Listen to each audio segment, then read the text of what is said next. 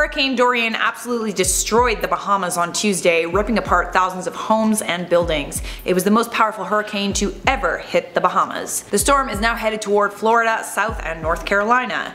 Does Hurricane Dorian pose a threat to your town or city? Find out right now on IO. Welcome back to Inform Overload, I'm Charlotte Dobre and I gotta say it is pretty heartbreaking to see what's happening in the Bahamas right now. Subscribe for more daily trending content and follow the IO team on social media. The Bahamas is in the midst of a humanitarian crisis after Category 5 Hurricane Dorian walloped two of the islands. Satellite images of Grand Bahama Island show a huge chunk of the island underwater after Hurricane Dorian bashed the region on Monday. So just so you guys can see just how devastating this storm was, here's a photo of what Grand Bahama Island used to look like before it was hit by Hurricane Dorian. For an entire day and a half, Dorian essentially parked over this region and barely moved.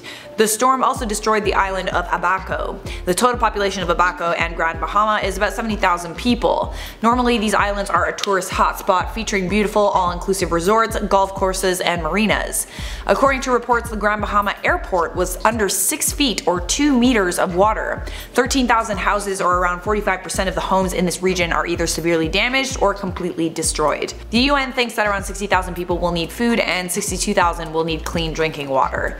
To make matters even worse, if you happen to be injured during the storm, the main hospital was completely flooded. The main hospital in the Abaco Islands is reportedly still intact and is currently sheltering 400 people, but it still really needs medical supplies as well as food and water. Officials in the Bahamas say they received a tremendous number of calls from people trapped in flooded homes and people trying to find loved ones. One local radio station said it got reports of a 5 month old baby stranded on a roof, and a woman with 6 children had to cut a hole in her roof to escape the rising water. The emergency services were having a very hard time rescuing people because the wind was so intense. In many cases, they were forced to turn back. The Red Cross has authorized $500,000 to be used for the first wave of disaster relief. It's estimated that 5 people have lost their lives so far as a result of this hurricane, but real fatality numbers will have to be assessed once emergency services can actually access affected areas. The most populated island in the Bahamas, New Providence, did not experience much damage. New Providence is home to a quarter of a million people. Hurricane Dorian has now downgraded to a category 2 hurricane after being a category 5 when it first struck.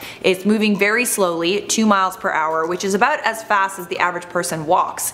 As of Monday night, Dorian dumped a maximum of 35 inches of rain on some places. It is expected to get very close to South Carolina on Thursday and even North Carolina on Friday. It may also make its way up to the Maritimes and Canada by this weekend. But the storm is nowhere near as strong as it was earlier in the week.